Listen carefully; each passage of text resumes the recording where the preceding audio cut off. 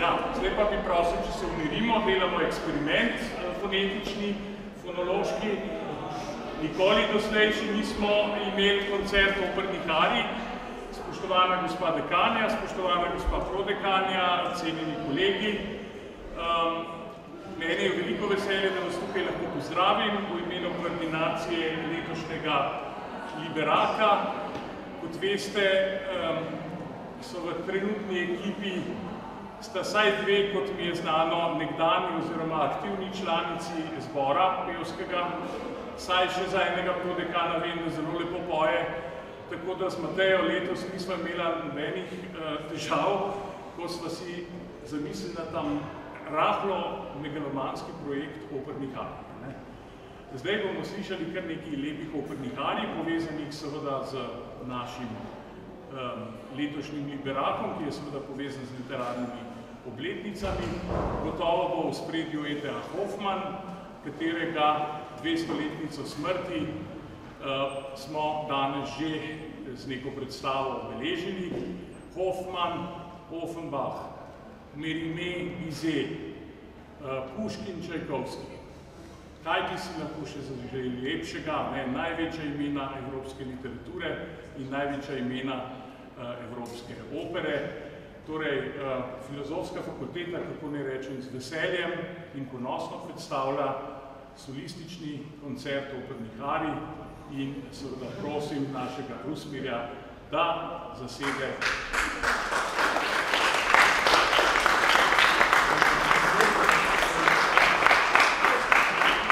Vmes pa bodo študentje primerjalnih književnosti, pod mentorstvom naše Mateje, ne, seveda povedali nekaj o posameznih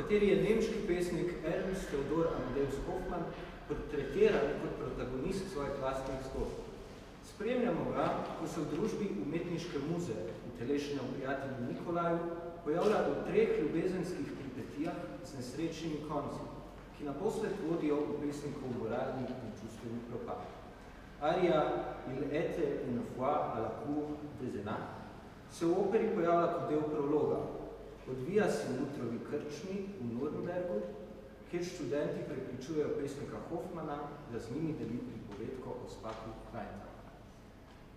Pesnik sprva govori njihovi želji, vendar pa mu misli hitro prično uhajati klepoti njegove ljubezni stele in šele proti koncu arije se predrami iz zasanjanosti, da zaključi pripoved o Kleinta. Po dveh nesrečno zaključenih ljubezenskih zgodbah se Hoffman znajde v tretji, tokrat v Benetka. Tam spozna očarljivo kurtizano Julieto, ki se ji kljub Nikolajevim svarilom ne more upeti. Svoja strast ji izpove v ariji Odieu de Coeli Prez, v kateri zapoje, da je njegova duša povsem opita od lepote njenega glasu in pogleda.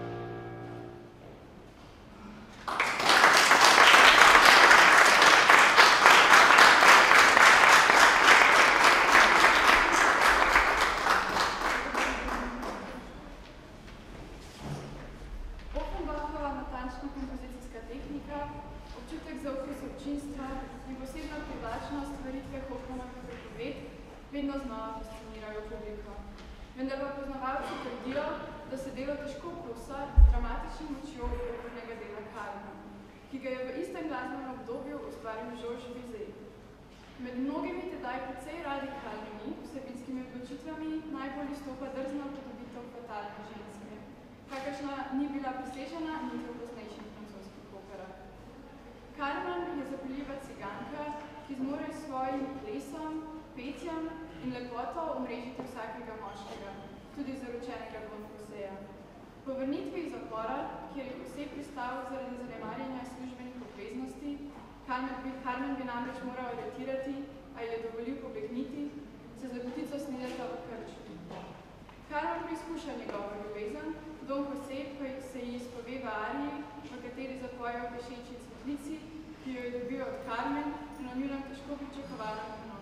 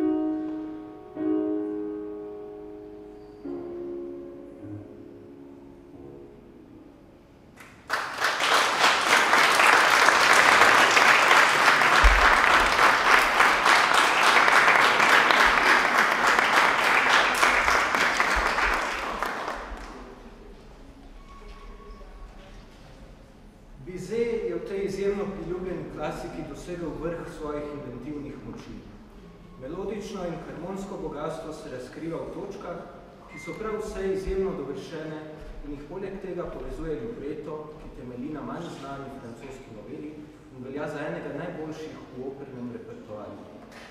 Libreti so med drugim večkrat išli iz, iz predlog slavnih literarnih klasik, kar se odraža tudi v opernem opusu Čajkovskega, ki se je nekajkrat posvetil v razbitvi libretov nastalih po Puškinovih delih. Puškin je z Evgeninjem Oneginom kot zaradi, bolj kot zaradi intrigantne zgodbe zaslovel zaradi izjemnega načina pisanja in prav zato je moral tudi Čajkovski nekoliko prilagoditi svoj kompozicijski pristop pri uglasbitvi dela. Namesto standardne zasnove, v tej operi skozi vrsto prizorov dramaturško napetost ustvarjajo značaji odrskih likov. V drugem dejanju predstavi Lenskega, ki pripravi na dvoboj s prijateljem Onegina. Slednji je namreč dvoril njegovi zaročenki Olbi, kar je sprožilo veliko ljubosov. Nekdanje prijateljstvo pa se je spremenilo v sovraštvo. Zjutraj, med čakanjem na dvoboj Lenski zapoje arijo Kuda, kuda, vi, udalilis, v kateri se spominja svoje srečne mladosti in se zaveda bližine svoje smrti. Mar mu ni za nič drugega, kako za to, da ne bo nikoli več videl ljubljene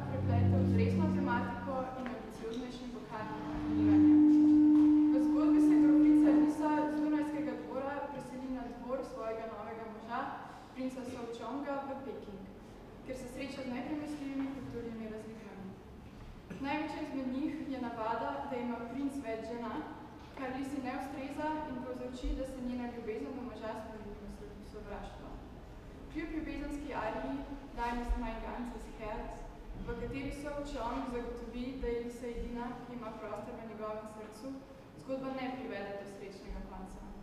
V nasprotju z osodoma protagonistov je omenjeno Arijo pričakala svetlo prihodnost. Preko prevoda v številne jezike, priredbe v druge glasbene žanre in izved najslavnejših teroristov se je uvrstila na železni repertoar koncertnih programov, kjer ostaja vse do danes.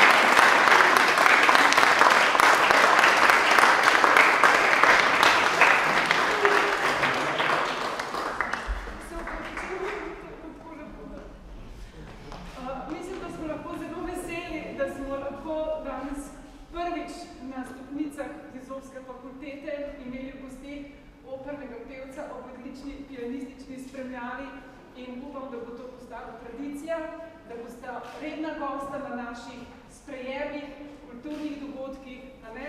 Ja, Zdaj imam tukaj dekanjo, prodekane in mislim, da se vsi strinjamo. Eh, uh, Mejna zahvala, zdaj smo le na sejmu akademske knjige, in uh, filozofska fakulteta torej proizvaja knjige v svoji znanstveni založbi, upam, da smo zbrali pravilne uh, in evo toliko. Hvala. Mi smo pa zelo veseli, da smo nas